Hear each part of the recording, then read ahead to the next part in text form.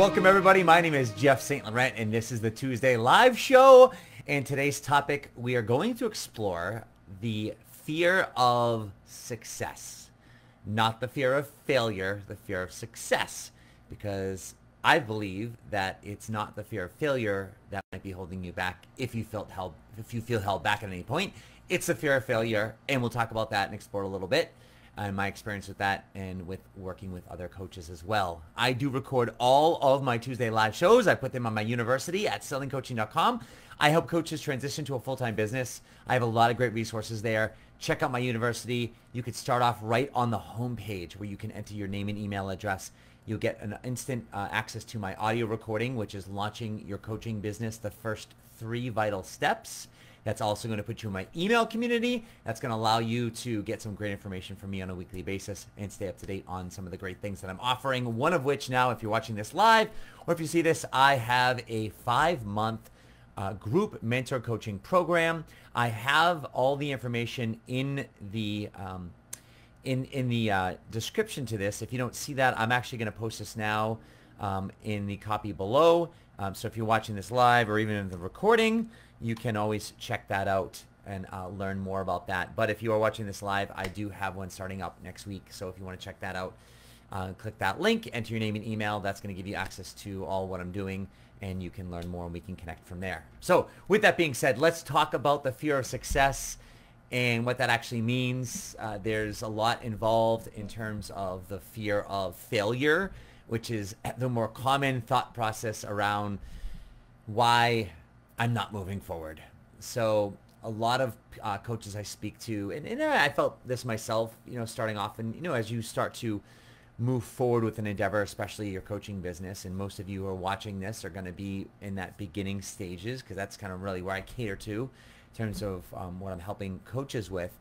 And I mean, even even later on when you're launched your business and you're successful and you move forward with it, right? There's always new endeavors and and places where you must grow to and evolve to, which can also cause some fear.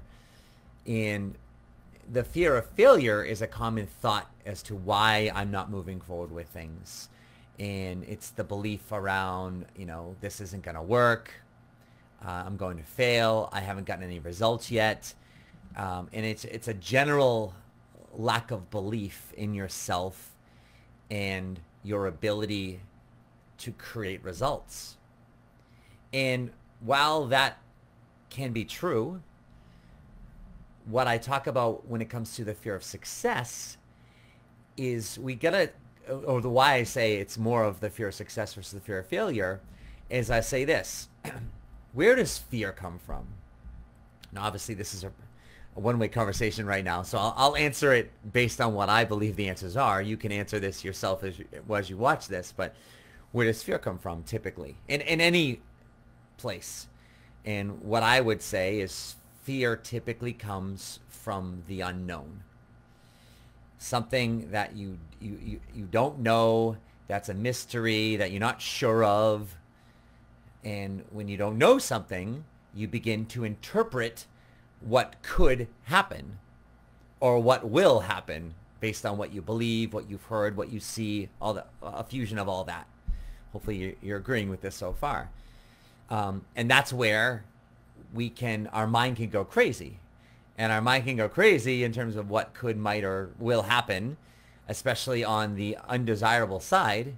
And, and that invokes fear because those are things we don't want to happen. Right? That's right. So with that being said, we talk about the fear of failure or the fear of success. When it comes to the fear of failure, especially in your business, and you're sitting there like, oh, I, I don't believe I can make this work. And I don't believe I can create any results. There's nothing to fear about that because nothing's happening already. Technically, you are already failing. So what what is there to be scared of? Like you're you're already in that state.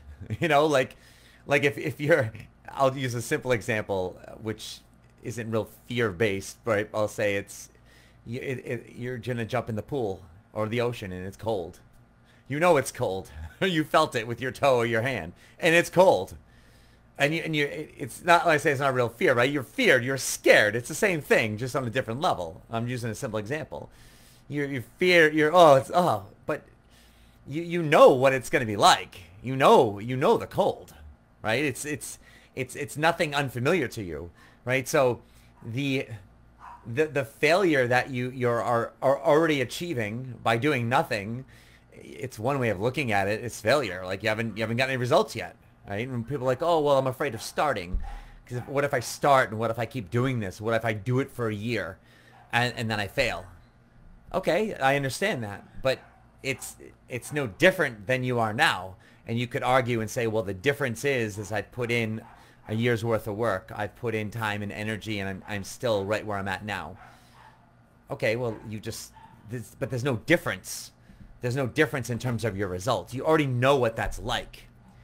And and here's here's what I know is that if you do a work and you do any amount of work and you do it consistently, you're gonna get a result. It's it's a fact and it may not happen in the time frame or the volume with which you're hoping, wanting, or expecting, but it's going to happen. It's going to happen. There, there's just no. I, I, mean, I do I do it myself with my clients. Like when when when they do the work that we outline, something happens, and and that's a fact. So if you do it long enough, consistent enough, something more and more is going to happen, and then at some point, something's going to happen that's big enough or or accumulation of the work is is is going to accumulate big enough where it's going to be like, wow, I, this is pretty good. Oftentimes, though, what happens is, is we're so zoomed into that process that, that it feels very slow. But there's not fear. That's not fear of failure, because that's that's known. Fear of failure is known. What I, what I want to talk about here is is where your apprehension most likely comes from is your fear of success because you haven't achieved that yet. And I'm not saying ever in your life. I'm imagining you've achieved some success. Everyone's achieved some success. And the second you're born, you succeed. Because you made it out. You're breathing. You're successful. It doesn't mean it's a continued success. Can something can happen, but you're successful. We've all, so we've all achieved a level of success from second one in our lives, right? If I'm really talking about it. But when it comes to our business, um, when we're starting off, we haven't achieved any success yet. And we, ha- we create successes along the way. But here's the thought is, well, what if this does work out? What if I make this call and the person answers? Because isn't that what we want? Yes. But then what the heck do I say? Never mind that. What if they answer the phone and I figure out what to say? And what if they say yes? then what do I do? What do I charge? How do I put that together? What does that look like? And then what? Well, how do I? how will I present? And and right? I mean, like how? And what if that? What if it goes well? And then they they hire me, and then there's a whole bunch of questions, and that's unknown. Because in the beginning, we don't know that stuff, right? That's why I'm mentor coaching. That's a big reason why the why I do what I do as a mentor coach is because I understand that I had all those questions and I had all those fears. I had that fear of, of success. It didn't stop me because I under well I what because I was fine in those moments. Some people I'm not saying fear of success will will stop everybody. I'm just if you're paralyzed, if you're stuck, if you if you feel it's fear based, then I'm I'm posing this as a consideration as to why you might feel this way. So now we get to that spot where oh well what if this happens? And then, and then, and then it's not only that, well, what do I say? And what if I send this email and um, what if they respond, right? So now if that takes us, so what if that starts to take off? And what if I start earning some real money, right? So now, especially, let's say you're in a job. You have a full-time job right now. And even, and especially if you hate that job, I want to get out of this job, but let's say you need the money and you're doing it for certain reasons, or even if you love your job, right? There's a reason why you're there now. So now your coaching business is going along, well then how's that going to work? So now what if my coaching business really starts to take off, but I'm not like at that spot where it's just a clear cut, you know, I'm earning, let's say you're earning whatever, $80,000 with your, with your day job. And now you're earning whatever, $20,000 a year, $30,000 a year. I'm trying to use some modest numbers, right? With your coaching business, right? And some of you, that would be great right? But then what? How do so then so how do I make that happen? How do I leave my job? How do what? How do I give up those benefits, right? So success breeds a lot of bigger decisions. Success also breeds um, a consistency to it, right? So, so I've, I've created a level of success in my business to date. I've been doing this now since 2004. So what happens now, this, this is my whole thing. This is my whole thing, right? And so what happens if I get tired?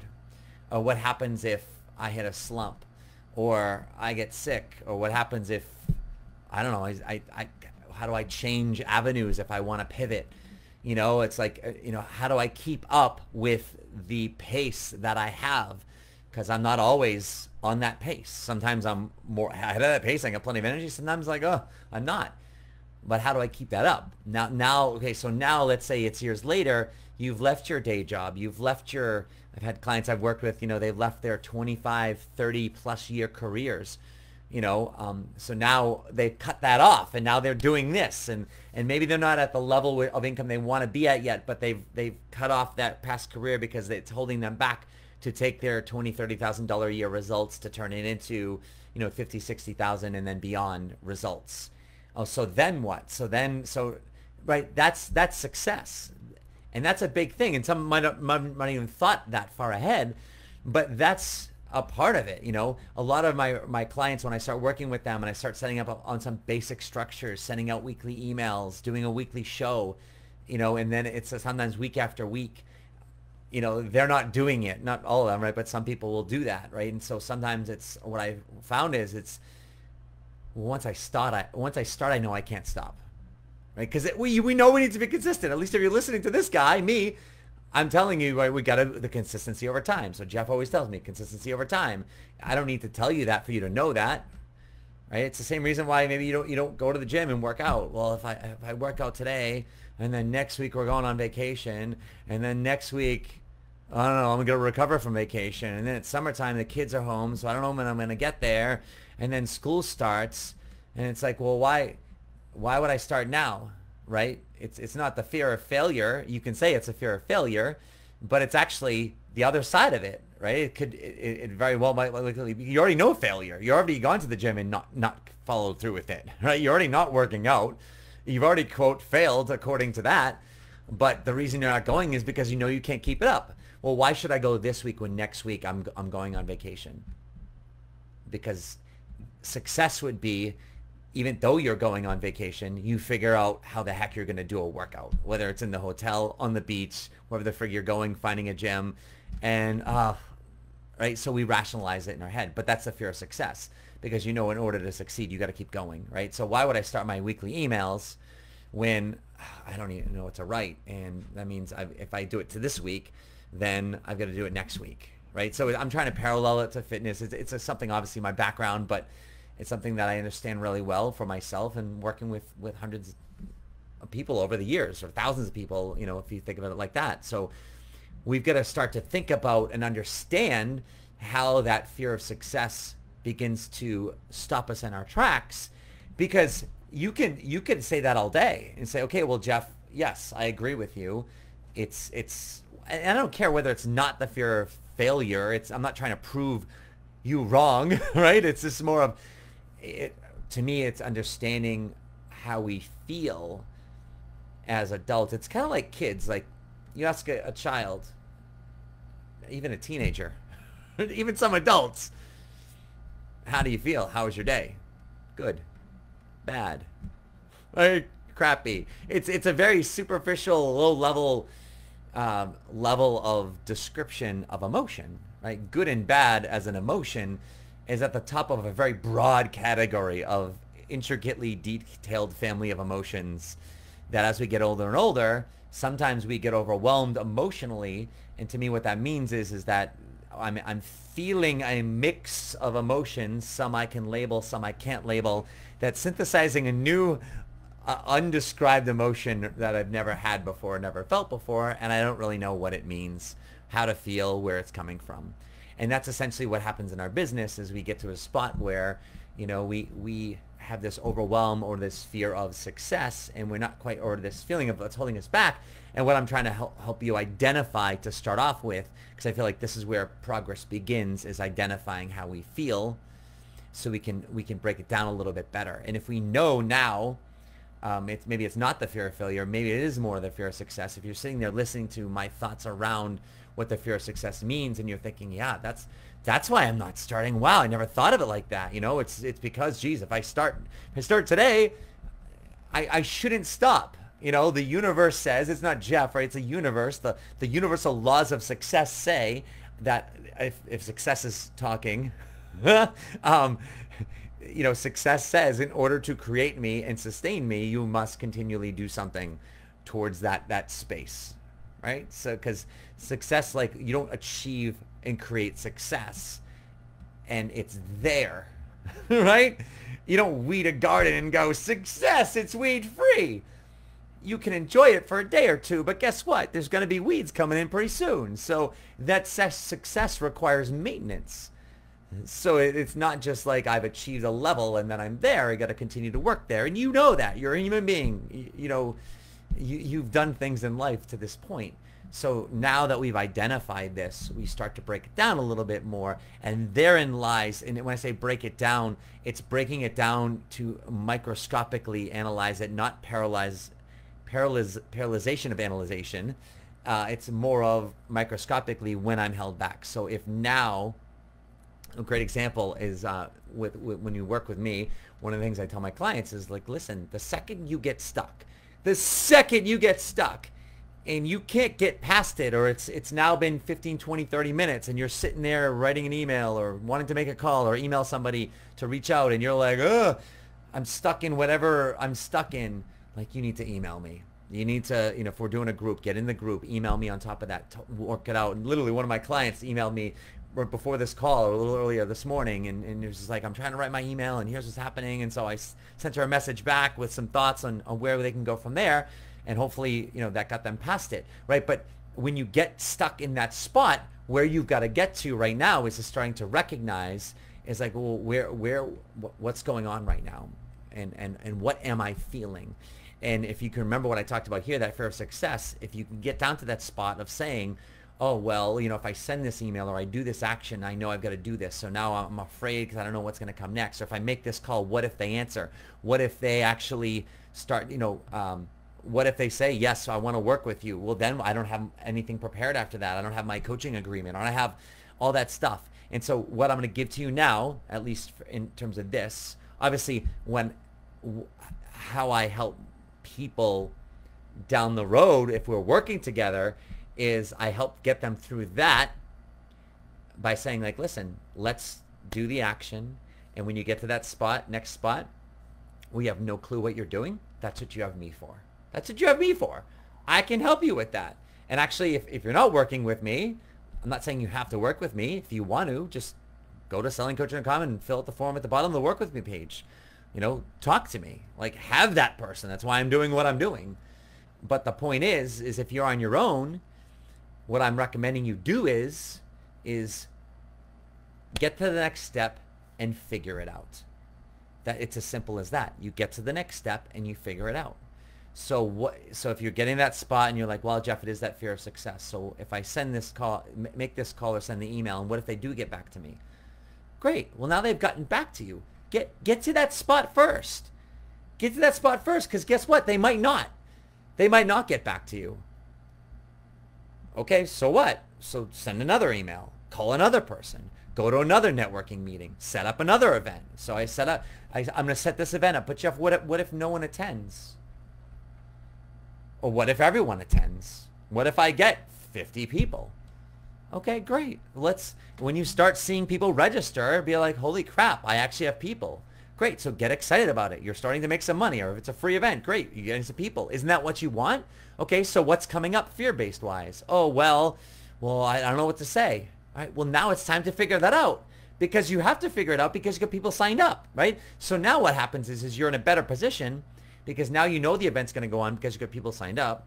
You've got a date of which you're going to have the event. Therefore, you have a deadline, which is what we need in life. With jobs provide that for us. When you're an entrepreneur, you don't have a deadline. You sit in this office and no one cares what the freak you do or when you do it for because you're not accountable to anybody but yourself. That's hard. That is hard or challenging, whatever word you prefer. But now you've got people, you've got accountability, you've got a date, so which means you have a deadline. And so between now and that date, guess what? Figure out what to say, right?